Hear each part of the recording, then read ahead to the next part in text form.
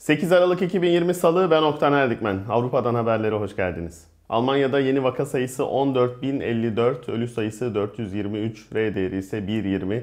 Leopoldina Bilim Akademisi korona önlemlerinin sert şekilde arttırılmasını ve tatilde sert bir kapanmaya gidilmesini önerdi. Bilim insanları iki aşamalı bir plan öngörüyorlar. İlk aşamada 14 Aralık'tan itibaren Noel tatiline kadar okula gitme mecburiyetinin kaldırılması ve ikinci aşamadaysa 24 Aralık 10 Ocak tarihleri arasında ülke genelinde sert bir karantina uygulanmasını istiyorlar. Bu tarihler arasında süpermarketler ve eczaneler gibi gıda ve ilaç satan yerler hariç tüm dükkanların kapatılması, tatilin 10 Ocağı kadar uzatılması ve turistik amaçlı seyahatlerden kaçınılması öneriler arasında. Siyasetçiler genelde bu enstitünün önerilerini uyguluyorlar. Ancak henüz karar alınmadı. Bu sadece şu anda bir tavsiye niteliğinde ama bu yönde adım atılacakmış gibi hazırlık yapmakta da fayda var. Ünlü virolog Christian Drosten 24 Aralık'tan itibaren sert bir kilitlenmenin gerektiğini söyledi. O da aynı fikirde. Yeni yılda da bölünmüş sınıf sistemine geçilmesini öneriyor. Drosten Almanya'da kesinlikle bir şeyler yapmalıyız. Bu sene harekete geçmek daha sonra ekonomiye büyük zarar verecek bir kilitlenmeden iyidir diyor. CSU lideri ve Bavyera Başbakanı Markus Söder de Leopoldina'nın önerisini destekledi. Toplantıda bu yönde bir karar çıkması halinde Bavyera'da hemen uygulayacaklarını söyledi. Bavyera zaten yarından itibaren sokağa çıkma kısıtlaması uygulayacak hotspot noktalarda. 5 Ocak tarihine kadar ancak geçerli bir nedeni olanlar sokağa çıkabilecek. Ayrıca yarından itibaren tüm meslek okulları uzaktan eğitime geçiyor. 100 binde 200'ün üzerinde enfeksiyon görülen yerlerde 8. sınıftan itibaren uzaktan eğitim uygulanacak. Son sınıflar istisna. Geri kalan bölgelerde de dönüşümlü bir sistem gündemde. SPD'nin sağlık uzmanı Lauterbach da tam kapanmayı destekleyen isimlerden Sağlık Bakanı Jens Spahn daha önce mağazaların kapatılabileceğini söylemişti. Ancak e, buna karşı olanlar da var. Örneğin Thüringen Başbakanı Ramelow tam kapanma yerine enfeksiyon riski yüksek olan yerlerle ilgili özel önlemler alınması görüşünde. Sanayici birlikleri de fabrikaların kapatılmasını istemiyorlar. Geçtiğimiz dönemde de zaten fabrikalar kapatılmamıştı. Bakalım ne yönde bir karar çıkacak. Merkel dün yaptığı açıklamada vakalar kendi kendine düşer umuduyla yaşayamayız demişti.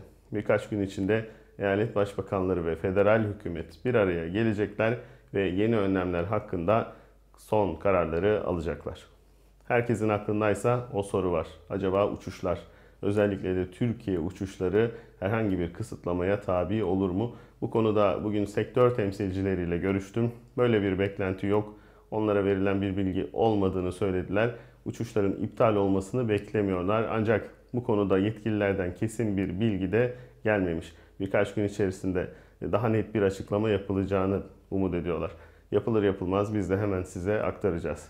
Yani gideceğimizden değil de bu aralar en azından bir şey olursa gidebileceğimizi bilmek bizim için önemli. Psikolojik açıdan önemli. Birinci dalgada bir ara uçuşları durdurdular, işte kara sınırlarını kapattılar. Burada biz kendimizi çok zor durumda hissettik. Yani ya bir şey olsa o zaman gidemeyeceğiz dedik. O kötü bir histi bizim için. İnşallah bu hissi yeniden yaşamak zorunda kalmayız.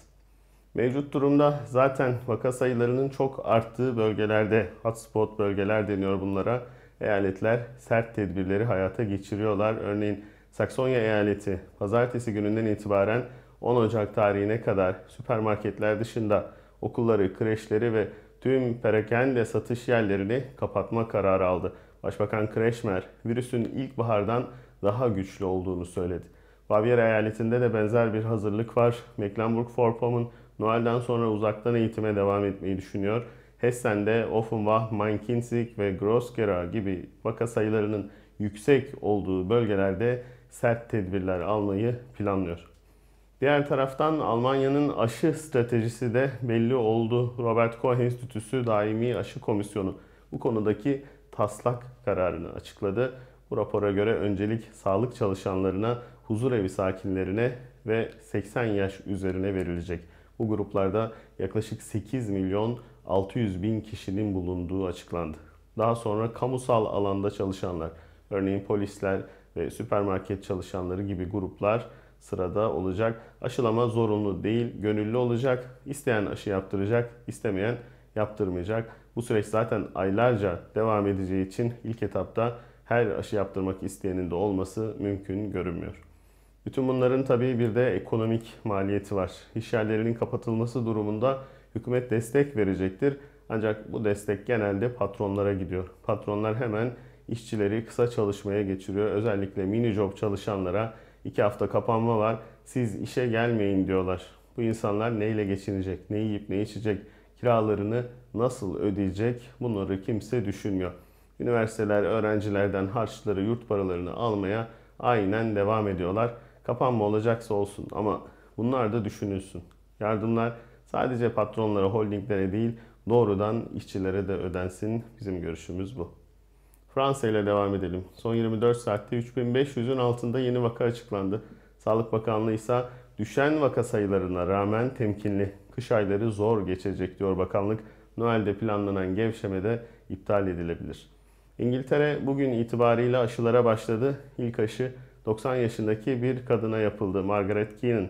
Aşının yapıldığı ilk sıradan vatandaş olarak tarihe geçti. Haftaya da doğum günü var. Bunu bir doğum günü hediyesi gibi gördüğünü söyledi. Hollanda'da ise vaka sayılarında %27 artış görüldü. Kısıtlamaların gevşetilmesi zor görünüyor şu anda. 13-17 ve 18-24 yaş gruplarında ciddi seviyede enfeksiyon görülüyor. Buralardaki enfeksiyon sayıları arttı. Gençlerin biraz daha dikkatli olması lazım.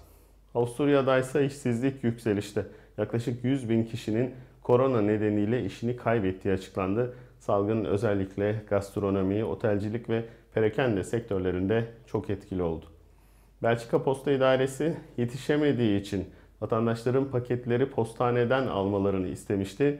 3000 yeni personel alındı ve artık yeniden tüm paketler evlere teslim edilmeye başlandı. Belçika'da günde 660 bin paket gönderiliyor. İsviçre'de vaka sayıları yeniden 4000'in üzerine çıkınca hükümet kantonlara yetki vererek önlemlerin sertleştirilmesini istedi. Birçok kantonda işletmelerin açılış saatlerinin sınırlanması gündeme geldi. Önlemlerin yarından itibaren sıkılaştırılması bekleniyor. Avrupa Birliği korona fonu oluşturmuştu. Polonya ve Macaristan AB bütçesini veto edince ortalık karıştı. Bunun sebebi AB'nin hukuk devleti ilkesini şart koşmasıydı. Polonya ve Macaristan'da otoriter eğilimleri olan partiler iş başında. Şimdi iki seçenek var. Ya taraflardan biri geri adım atacak ya da Avrupa Birliği bu bütçeyi iki ülkenin dışındaki üyelerine dağıtacak. Sağ popülizm Avrupa'da güç kazanmaya devam ediyor. Hollanda'da aşırı sağcıların oyları arttı. Romanya'da bu pazar seçim oldu. Yaklaşık %9'la meclise girmeyi başardı aşırı sağcılar. Bunlar sistem karşıtı söylemlerle oy kazanıyorlar. 80'lerde 90'larda başka bir deyişle Mark zamanında bugünkü gibi taşeron firmalar yoktu. Sendikalar çok güçlüydü. İşçi hakları çok daha iyiydi. İki şey oldu. Birincisi üretim Asya'ya kaymaya başladı. Avrupalı karteller çok daha ucuza işçi çalıştırabildikleri için bu ülkeleri tercih ettiler. Burada bir günde ödenen ücreti orada bir ayda verdiler ve işleri yürüdü. İkincisi Avrupa Birliği ile birlikte Doğu Avrupalı işçiler sanayi ülkelerine gelmeye başladılar. Almanya'daki, Fransa'daki işçi sınıfı yani orta kesim iş piyasasında dezavantajlı konuma geldi. İşte aşırı sağcılar her şeyin sorumlusu olarak bu yeni gelenleri göstermeye çalışıyorlar ama yeni gelenler bu sistemin sadece son kurbanları. Bu işlerin böyle olmasını kimler istiyor? Aslında cevabı çok basit. Mevcut durumdan kimler milyar dolarlar kazanıyorsa onlar. Ama sistem bize aksini söylüyor. Sürekli tüketime ve borçlanmaya yöneliyoruz. Emlak fiyatları bazı bölgelerde 20 yılda iki katına çıktı. Artık bir işçi maaşıyla ev almak eskisi gibi mümkün değil. Bankaların şişirdikleri bu balon ara sıra patlıyor ama devletler işçileri değil bankaları kurtarıyorlar ve faturayı da zamlarla artan vergilerle yine bize ödetiyorlar. 2010 yılında psikolog Lysan Darnish ve arkadaşları bir deney yaptı. Katılımcılara yanınızda şans getiren bir şey getirin dediler. Bazıları bir madalyon aldı, bazıları nazar boncuğuyla geldi, bazıları da annesinin kolyesini getirdi. Grubun yarısından bu önceleri fotoğraflarını çekeceğiz dedikleri şans objelerini aldılar. Sonrasında hafıza testi yaptılar ve elinden o eşyaların alındığı insanlar başarısız oldular. Çünkü başaracaklarına inanmıyorlardı. Bu sistem bizim elimizden haklarımızı aldı. Dört bir yana binalar, santraller dikti. Temiz bir nefes alma şansımızı aldı. İlaçsız bir meyve yeme özgürlüğümüzü aldı. Evimizde kendi halinde mutlu bir hayat sürme imkanımızı aldı. Gerçekten mutlu olacağına inanan çok az kişi kaldı bu yüzden. Çünkü inancımızı aldılar. Ama daha da kötüsü bütün bunları kendi isteğimizle yaptığımızı, her şeyin normal olduğunu sanıyoruz. Piyasada satılan hazır kek karışımları var. Denemişsinizdir. Bunlar 1950'lerde çıktı. Önceleri yapması çok daha kolaydı. Paketten çıkan toza su katıp fırına veriyordunuz. Ancak insanlar bunu satın almadılar. Bir kek bile yapamıyorum demek istemediler çünkü. Firma bunun üzerine karışımın içinden yumurtayı ve sütü çıkardı. Paketi bir kaba koyup içine yumurta kırmanız ve bir bardak süt döküp karıştırmanız gerekiyordu artık. Bu yöntem satışları patlattı. Çünkü insanlar artık keki kendileri yaptıklarına inandılar. Bu dünyanın düzeni bir avuç zenginin hesabındaki para miktarını arttırmak üzerine kurulu. Milyarlarca insan bu oyunda bir figüran olarak kullanılmak isteniyor. Peki biz ne yapacağız? Öncelikle iki yumurta kırdık diye bu sistemin bir parçası olmadığımızı, yanıldığımızı kabul edeceğiz. Onların dediğini yapmayacağız. Markalı elbiseler, lüks arabalar bizi mutlu etmeyecek. Bunu bileceğiz ve artık bedava çalışmaya bir son vereceğiz. Bir şeyin değeri bizim ona atfettiğimiz önem kadar. Altına pırlantaya değil de sevgiye, dostluğa değer verirsek gözümüzde onlar yükselir. Üstelik onlar için para ödemeye de gerek olmuyor. Bir de her şeyin daha güzel olacağına inanmak lazım ki o çok kolay. Çünkü insanın olduğu yerde her zaman bir umut mutlaka vardır. Hoşçakalın.